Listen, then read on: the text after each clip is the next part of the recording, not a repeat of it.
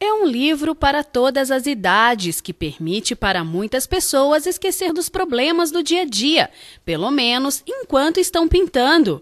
As ilustrações são ricas em detalhes e esperam para ganhar vida através da criatividade de quem se propõe a fazer o trabalho. Tem para todos os gostos e bolsos.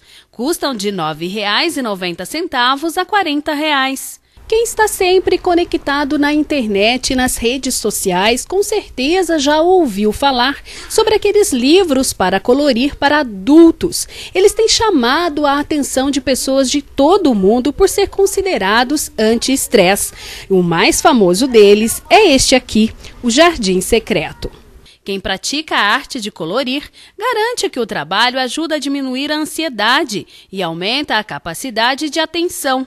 A professora Tatiana conheceu o livro na escola onde leciona e ficou impressionada com os desenhos depois de serem coloridos. Ficou muito feliz quando foi presenteada pela filha com um exemplar. Ela aproveita quando está em casa para relaxar Pinta bem devagar cada detalhe, sem pressa para terminar a página. Para mim, eu gosto de colorir, sempre gostei desde criança. Para mim, é, está sendo bom, sim. Eu consigo ter uma paz, eu consigo ficar uns, alguns minutos lá desligada, só prestando atenção na, na pintura. Mas, é, por outro lado, as pessoas que não gostam de colorir, é lógico que elas não vão gostar, vai gerar um estresse, não um anti-estresse, como é a, a, que o livro, é, a tendência do livro, né? Ah, eu demoro, viu, Ana? Eu acho que, acho que dias, porque eu sento, eu, eu, eu pego, vou colorir uma flor. Aí passo, vou fazer outra coisa, né? Meus afazeres aqui. Aí não é em um dia, não é numa sentada que você consegue colorir, porque os desenhos, né, olha, são vários detalhes, muitos detalhes, então alguns dias. Eu não parei para contar lá, mas são dias. Eles estão espalhados nas bancas de revistas, papelarias e possuem várias denominações, como Floresta Mágica, O Mundo das Corujas, Floresta dos Sonhos, Jardim dos Corais e Mandalas do Nepal. De acordo com o comerciante Ronaldo, a procura pelos exemplares é grande. Desde quando saiu esses livros para colorir para adulto, começou uma febre geral no Brasil. Até poucos dias atrás você não achava nada em nenhum lugar. O que chegava vendia.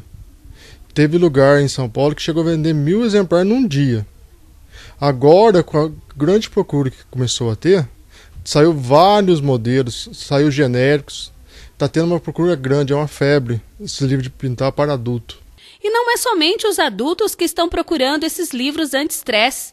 Eles têm agradado também as crianças, que junto com os pais pintam os desenhos. É uma terapia para desestressar, para passar o tempo, para memória.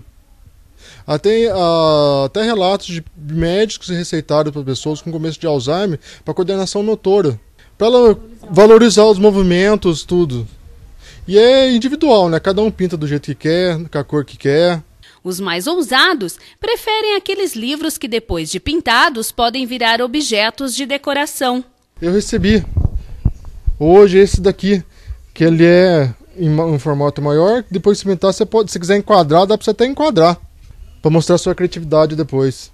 Mas, de acordo com a psicóloga Luciene Casaroto, as pessoas devem observar alguns pontos importantes antes de adquirir um livro como este, pois o que é bom para alguns pode ser prejudicial para outros, principalmente se a pessoa for ansiosa e perfeccionista.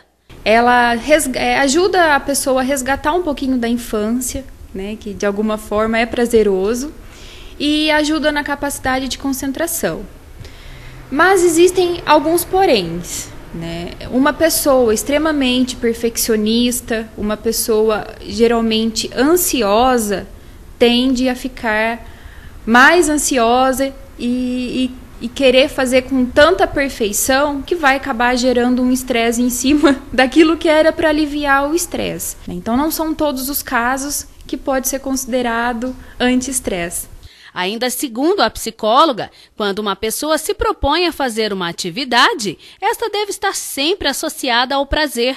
A mídia quer colocar para gente que todos somos iguais e temos que fazer atividades iguais para a gente ser considerado parte de um grupo né? E as coisas não acontecem dessa forma. Nós somos pessoas diferentes, cada um é, tem as suas peculiaridades, cada um tem seu gosto. Então a gente tem que se respeitar.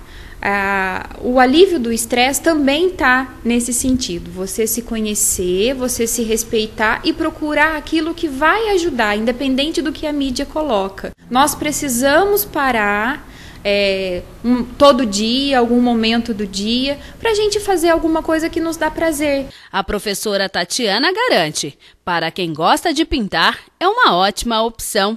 Eu acredito que o colorir, né? Ele é uma atividade de criança e a fase infantil é uma fase de prazer.